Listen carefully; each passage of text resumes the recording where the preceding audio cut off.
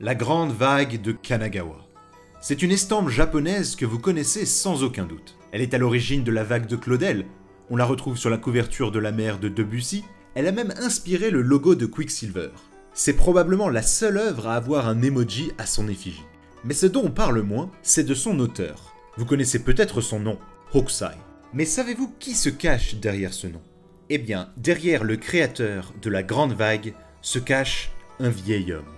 Un vieil homme de 70 ans. Nous sommes vers 1830. Hokusai est un respectable maître du dessin, mais son aura est bien loin d'atteindre celui des grands maîtres de peinture japonais. En publiant cette œuvre à 71 ans, Hokusai n'a aucune idée de l'influence que son art va exercer sur le monde entier. Mais revenons en arrière, en 1772 à Edo. Hokusai n'existe pas encore. À la place, on retrouve le jeune Tokitaro, qui commence à apprendre dans un atelier la gravure sur bois à l'âge de 12 ans. Il reproduit surtout des textes. À 18 ans, il intègre l'atelier de Katsukawa Shunsho, un maître en matière d'estampes japonaises, les ukiyo-e, littéralement images du monde flottant. Cette fois-ci, il se concentre plus sur le dessin de portrait que la gravure de texte. Dans cet atelier, Tokitaro perfectionne sa maîtrise de la xylographie. C'est la technique la plus utilisée pour confectionner des estampes japonaises, et puisque c'est celle qu'il utilisera tout au long de sa vie, laissez-moi vous détailler en quoi cela consiste. La xylographie est avant tout un travail collectif. Tout d'abord, il y a le dessinateur, qui se charge du dessin original à l'encre. C'est ce rôle qu'endossera principalement Tokitaro tout au long de sa vie. Ensuite, on retrouve le graveur, qui transpose sur bois le dessin, détruisant au passage l'original. Mais la gravure est ensuite reproduite, une fois pour chaque couleur. C'est ensuite au tour de l'imprimeur de peindre ses planches et de les appliquer successivement sur le papier avec une extrême précision.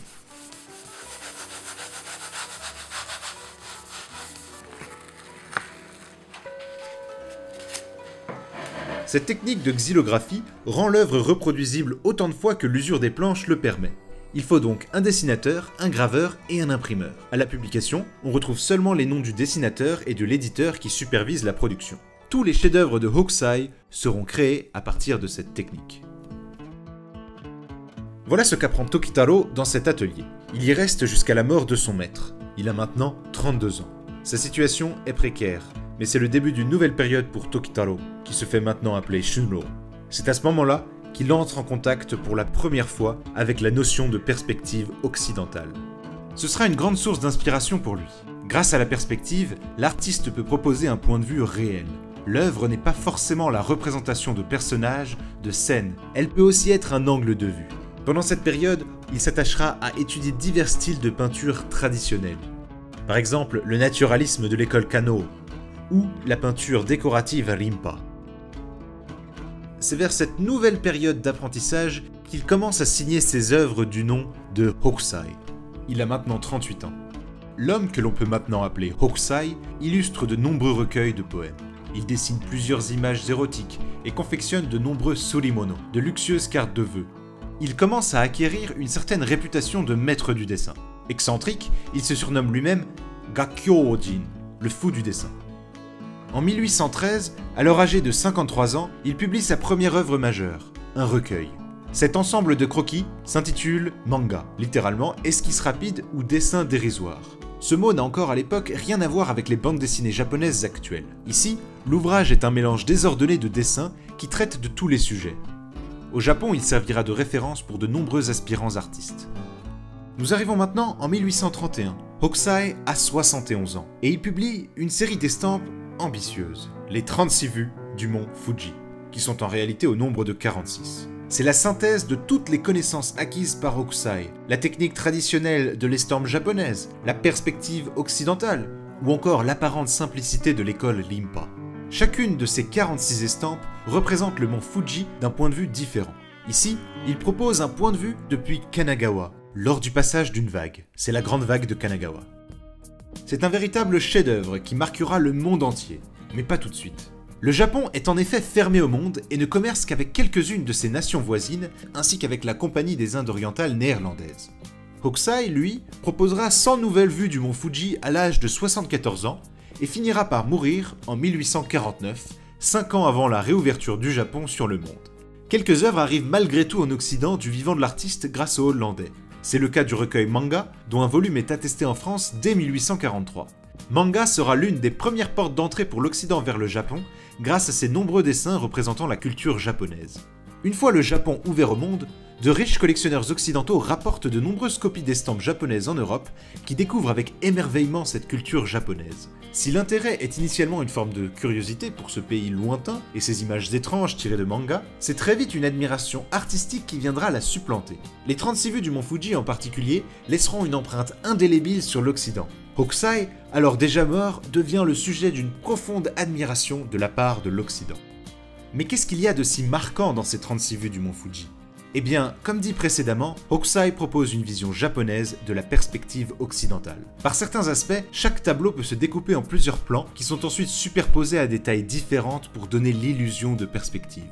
Les lignes de fuite sont presque exclusivement horizontales et ne fuient donc jamais vers l'infini, contrairement à ce que l'on retrouve beaucoup en Europe. Dans le cas de la grande vague, il y a un contraste bien particulier entre le premier plan, mouvementé et agité, et l'arrière-plan, calme et serein. Certains y verront une opposition du yin et du yang qui se retrouve également au niveau du contraste des couleurs. Et justement, parmi les couleurs de la grande vague, il y en a une tout à fait particulière que l'on retrouvera dans quasiment toutes les vues du mont Fuji. Cette couleur, c'est le bleu. Et pas n'importe quel bleu, le bleu de Prusse. Et pour bien comprendre pourquoi cette couleur est si particulière, il faut savoir que le bleu a longtemps été rare et difficile à utiliser. En Occident, historiquement, c'est surtout le lapis lazuli, rare et cher, qui était utilisé pour faire un bleu dit outre-mer. Au Japon, le bleu était d'origine végétale. C'est Suzuki Harunobu qui fut l'un des premiers à recourir à la tsuyukusa, l'herbe de rosée. Mais ce bleu ne résistait pas bien aux affres du temps. C'est là qu'intervient le bleu de Prusse. Il est tout simplement considéré comme le premier pigment synthétisé moderne de l'histoire. Sa découverte par hasard remonterait vers 1706. Les premiers artistes commencent alors à s'en servir. Watteau par exemple s'en sert pour les sous-couches du bleu dans la mariée du village pour économiser du bleu outre-mer qui comme dit précédemment est à base de lapis lazuli. Ce bleu s'impose tout au long du XVIIIe siècle comme une solution bon marché et facile à produire pour faire du bleu, mais reste très marginal dans les œuvres majeures. Le pigment est critiqué pour sa sensibilité à la lumière et sa faible solidité, se faisant supplanter par le bleu de cobalt découvert au début du XIXe siècle. Au Japon, la destinée du bleu de Prusse est tout autre. On l'appelle souvent Bero-ai ou Berolinai, soit bleu de Berlin. C'est dans ce tableau que l'on retrouve les premières traces attestées de ce bleu au Japon. C'est le brème dans un banc de poisson de Ito. Probablement obtenu par quelques échanges avec les Hollandais, son utilisation reste très anecdotique. C'est pour le bleu de ce petit poisson. Il faudra attendre plusieurs siècles pour qu'avec la chimie, nous nous rendions compte de cette couleur. C'est surtout au 19e siècle que ce bleu va se populariser, et plus précisément vers 1830 grâce à un célèbre peintre, vous l'aurez compris, Hokusai. Hokusai choisit de faire de cette couleur critiquée en Occident la couleur principale de ses 36 vues du mont Fuji. Ces ciels bleus constitueront ainsi l'une des grandes caractéristiques de Hokusai. Ils offrent une impression totalement inédite pour l'époque. Et comme nous l'avons dit, cette impression inédite ne marquera pas que le Japon. Les œuvres de Hokusai seront les principales influences du mouvement japoniste en Europe, qui durera des années 1860 jusqu'à la fin du siècle. En peinture, c'est d'abord des éléments japonais qui sont peints, mais très vite, vers la fin des années 1870, le Japon n'est plus un simple objet de peinture. Les peintres commencent à s'inspirer des codes de la peinture japonaise en elle-même. La perspective en montage influencera beaucoup Paul Cézanne, mais aussi Henri Rivière, qui réalise les 36 vues de la Tour Eiffel, ou encore Van Gogh, lui qui possédait plus de 400 estampes japonaises. Sa nuit étoilée serait même une référence directe à la grande vague de Kanagawa. L'immense ciel bleu peint en partie au bleu de Prusse, la division de l'image en divers plans superposés, et surtout ces courbes qui forment des vagues dans le ciel. Hokusai aura donc marqué une grande partie des impressionnistes qui ne s'en cacheront pas. La maîtrise des œuvres de Hokusai est à la fois technique et artistique. Cette façon peu commune d'utiliser la perspective et les couleurs en ont fait des représentations novatrices qui ont de façon indiscutable marqué l'histoire de l'art et plus généralement l'esthétique. Rares sont les œuvres et artistes à avoir exercé une influence si puissante sur la façon de représenter le monde. Le succès tardif de Hokusai n'a rien d'un hasard. Pendant 89 ans, il a cherché à perfectionner son art, se remettant constamment en question, étudiant la nature, les œuvres classiques japonaises, l'art occidental, le dessin, 4 ans après la publication des 36 vues du mont Fuji, il déclara Depuis l'âge de 6 ans, j'avais la manie de dessiner la forme des objets. Vers l'âge de 50 ans, j'avais publié une infinité de dessins, mais tout ce que j'ai produit avant l'âge de 70 ans ne vaut pas la peine d'être compté. C'est à l'âge de 73 ans que j'ai compris à peu près la structure de la nature vraie, des animaux, des herbes, des arbres, des oiseaux, des poissons, des insectes. Par conséquent, à l'âge de 80 ans, j'aurais encore fait plus de progrès. À 90 ans, je pénétrerai le mystère des choses. À 100 ans, je serai décidément parvenu à un degré de merveille. Et quand j'aurai 110 ans, chez moi, soit un point, soit une ligne, tout sera vivant. Je demande à ceux qui vivront autant que moi de voir si je tiens ma parole. Écrit à l'âge de 75 ans par mois, autrefois Gakyo Rojin, le vieillard fou de dessin. Admirons un dernier instant les 36 vues du mont Fuji de ce vieillard fou de dessin.